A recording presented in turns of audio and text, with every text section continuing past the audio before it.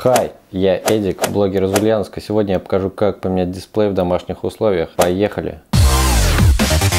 Для этого нам понадобится отвертка. Здесь вот два болта маленьких, нужно их открутить. Ну так, откручиваем один болт, второй болт.